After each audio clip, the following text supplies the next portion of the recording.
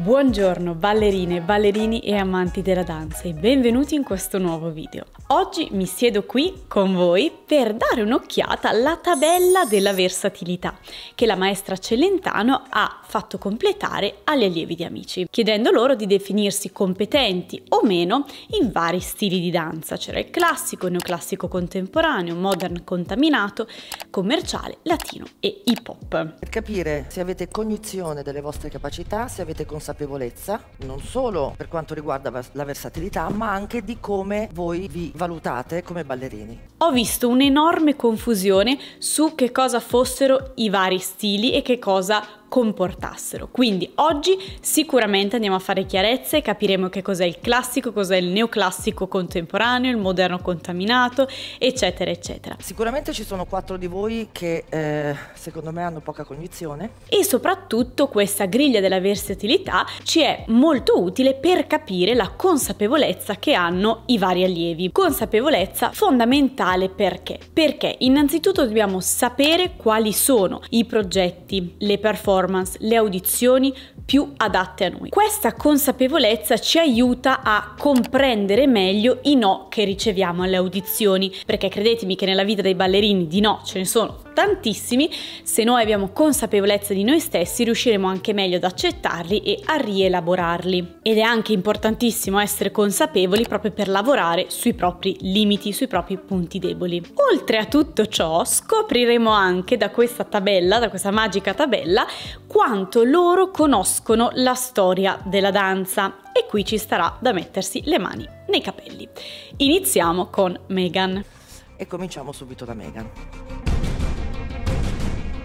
Classico. No. E ci siamo. Eh, neoclassico contemporaneo. No. E ci siamo.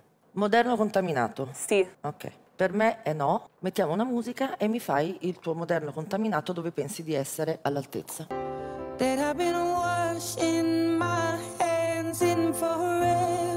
Qui mancano proprio le basi. Il moderno contaminato che cos'è? Quindi per me ad oggi tu non sei pronta per fare un moderno contaminato generale. Certo. Quindi neanche di portare a termine Vabbè, una coreografia. un sacco di volte, assolutamente sì. Andiamo a capire questo così almeno facciamo un po' di chiarezza perché alcune cose proprio non si possono sentire. Allora, moderno contaminato. Contaminato è un aggettivo che descrive il moderno. Il moderno rimane moderno. Il moderno contaminato ai, ai, tempi di oggi ci sono, diciamo... Cosa vuoi dire, scusa, ai tempi di oggi? Che io sono antica e no, non capisco no, e non no, conosco? No, no, no. Quando nasce questo moderno? La danza moderna nasce dalla danza classica. La danza moderna nasce dall'esigenza di rompere alcuni schemi molto impostati della danza classica. E chi sono i padri e le madri di questa danza moderna sono ad esempio Martha Graham,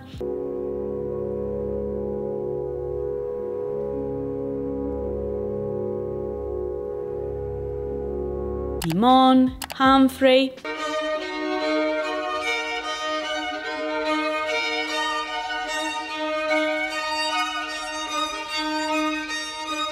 Cunningham.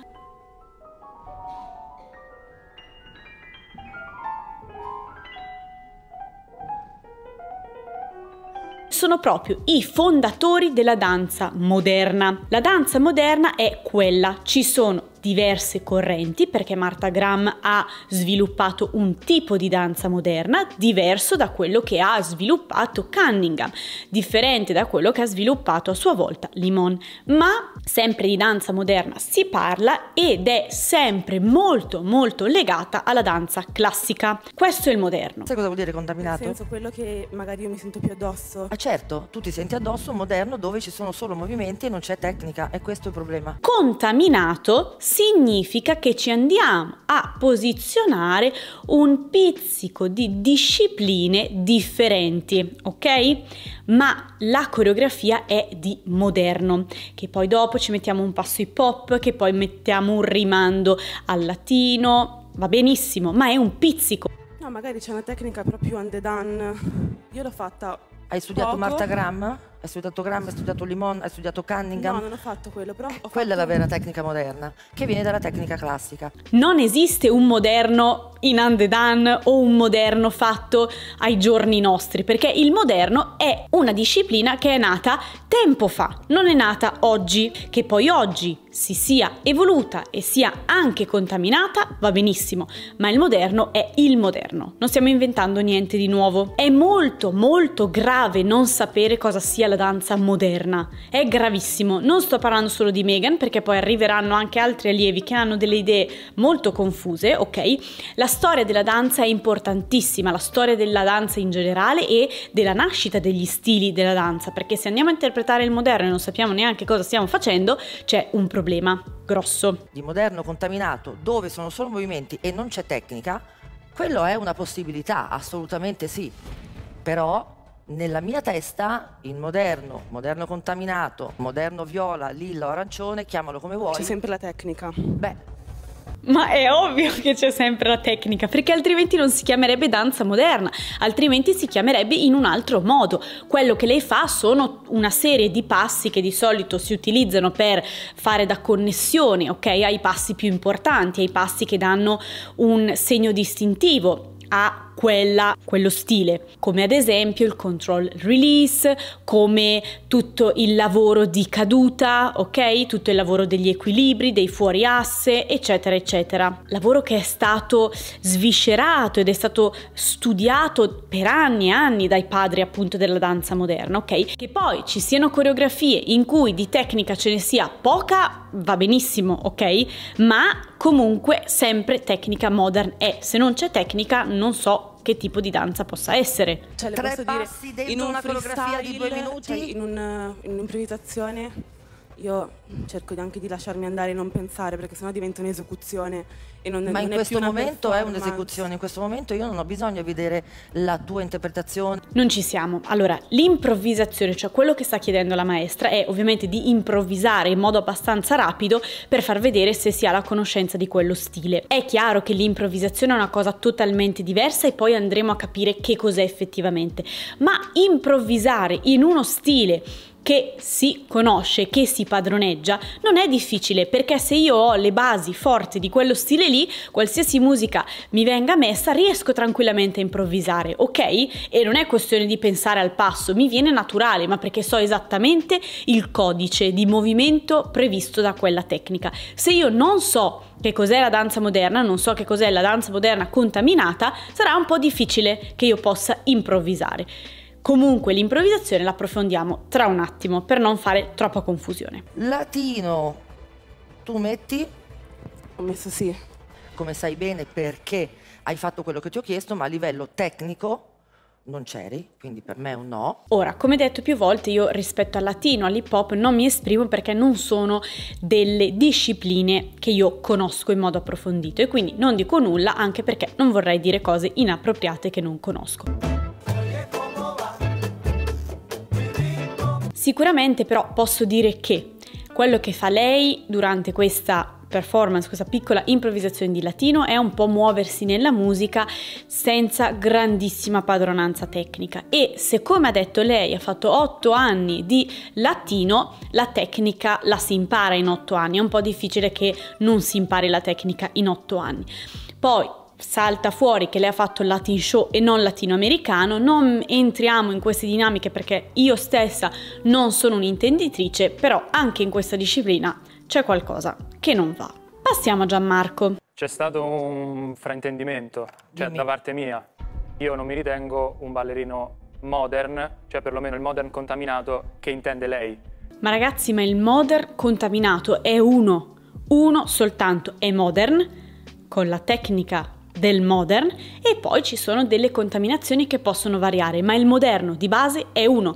Non esiste che noi adattiamo lo stile rispetto a quello che noi sappiamo fare, ok? Cioè se io lo so fare, questo è il mio tipo di moderno, ma siccome quello non lo so fare, quello non è il mio tipo di moderno. No- non, non ci siamo, ok? Non è che le cose si adattano a noi, siamo noi che dobbiamo adattarci ai vari stili. È un po' diversa la cosa.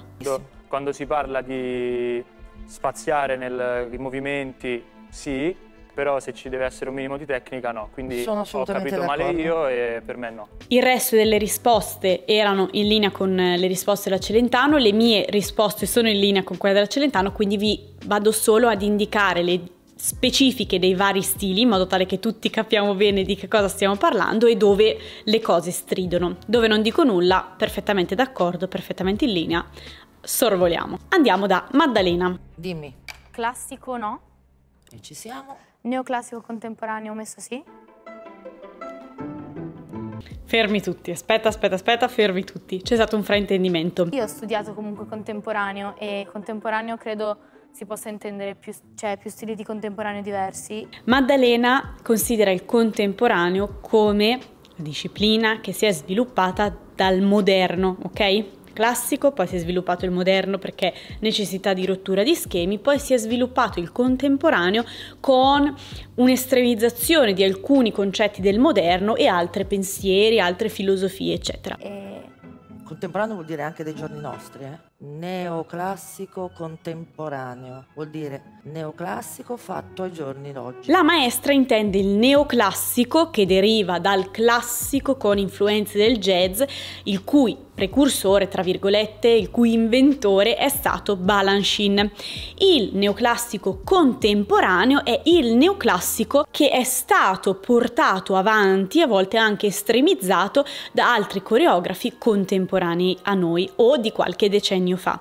Quindi, fondato da Balanchine, viene poi rielaborato, sempre mantenendo gli stessi concetti, quindi la base di danza classica forte, gli off balance, l'utilizzo della musica in modo molto particolare con dei passaggi particolarmente veloci e rapidi e altre caratteristiche da per esempio Forsyth, Killian, oggi come oggi proprio contemporaneo ai giorni nostri c'è per esempio Nunez e altri coreografi, ok? Quindi non è quello che intende Maddalena, non è il contemporaneo che si è sviluppato dal moderno, ma è il neoclassico, ok? Fondato da Balanchine, che si è evoluto, è stato portato agli estremi, è stato anche portato in correnti differenti dai vari coreografi nel tempo, quindi da Balanchine fino ad oggi. Il neoclassico contemporaneo è impossibile riuscire a farlo se non si ha una base classica fortissima, eccellente, perché porta tutto all'estremo, ok? I salti, per esempio, nella danza classica, le batterie sono ad una determinata velocità, nel neoclassico vengono portate in una velocità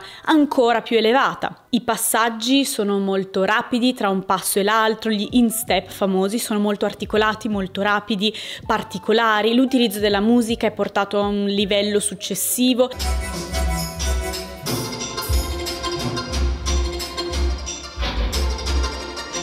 Come anche l'andeor, la flessibilità e tutti questi off balance. Ok, quindi se non si ha il classico è impossibile riuscire a fare il neoclassico contemporaneo. non lo so, credo di avere una tecnica abbastanza buona e Ok. credo di potermela cavare. Certo che fraintendersi tra ballerini sugli stili della danza ci vuole proprio tutta, eh? Insomma, mm. passiamo a Mattia. È quello che ho pensato quando ho scritto quel sì e quei no. Cioè io ho letto griglia della versatilità allievi. Io ho sempre studiato latino nella mia vita, non ho mai Certo, avuto lo so. l'opportunità di studiare altro. Con questa affermazione ha detto tutto. L'unico stile in cui lui è competente è il latinoamericano, perché l'ha studiato da tutta la vita. Essere versatili non significa solo saper fare tanti stili diversi, ma significa saper fare tanti stili diversi tutti fatti bene. Preferisco un ballerino che fa meno stili ma fatti bene che più stili ma fatti male. Quello non è la versatilità. Anche perché se tu dici di essere versatile, ok, nel classico contemporaneo moderno, se arriva un coreografo e mi chiede di fare il contemporaneo, non è che posso dirgli e allora aspetta un attimo, io il contemporaneo eh, lo porto a casa, però non sono proprio bravo, non è che l'ho proprio studiato.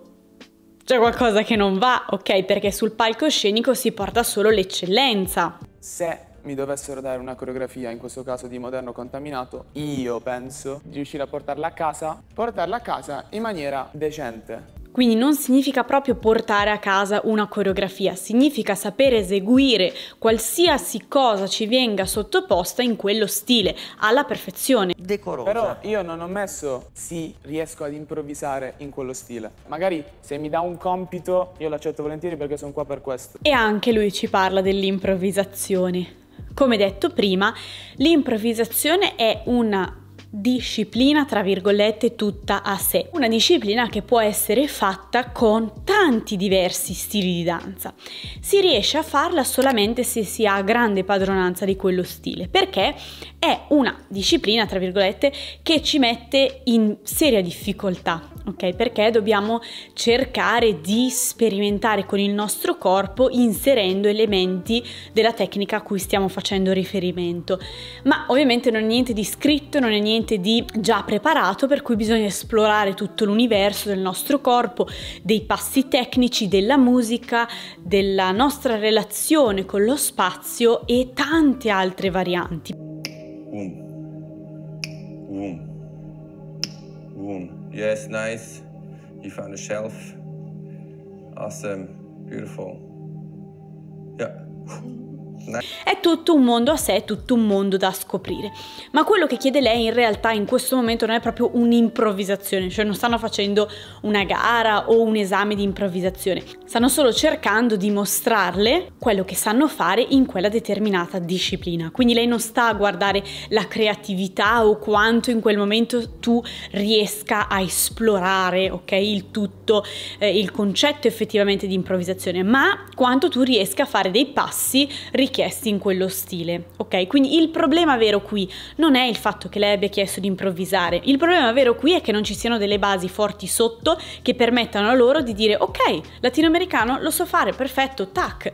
Ok, danza classica la so fare, perfetto, vado. Ok, questo è il concetto. Mi impegno e glielo faccio. E magari le, faccio, le dimostro che la versatilità per me non è solo saper improvvisare. Infatti la versatilità non è saper improvvisare. Proprio il discorso che sta facendo lui lo sta portando su un altro piano e sta dicendo delle cose che non c'entrano niente, perché qui non stiamo parlando di fare un compito, ok? Il compito hai tempo di studiarlo e in qualche modo magari lui il modern riesce a farlo, ma non significa essere versatili nel modern, riuscire a fare un compito fatto così e così. No. E io non, in questo momento dico di no proprio perché non penso, secondo come la conosco, di, di okay. riuscire... Io non ho nessun problema. Ma ragazzi non è quello che dice la Celentano o quello che vuole la Celentano che dobbiamo raggiungere, è quello che dice il mondo della danza, è quello che dicono le varie discipline che dobbiamo raggiungere, a cui dobbiamo fare riferimento, è chiaro? Se un domani devo andare a fare un tour dove mi chiedono di ballare cinque stili, che faccio io che, che uno lo faccio bene e quattro li faccio male? Guardate, non c'è tutta questa scelta nel mondo della danza, ecco perché sempre di più si parla di ballerini versatili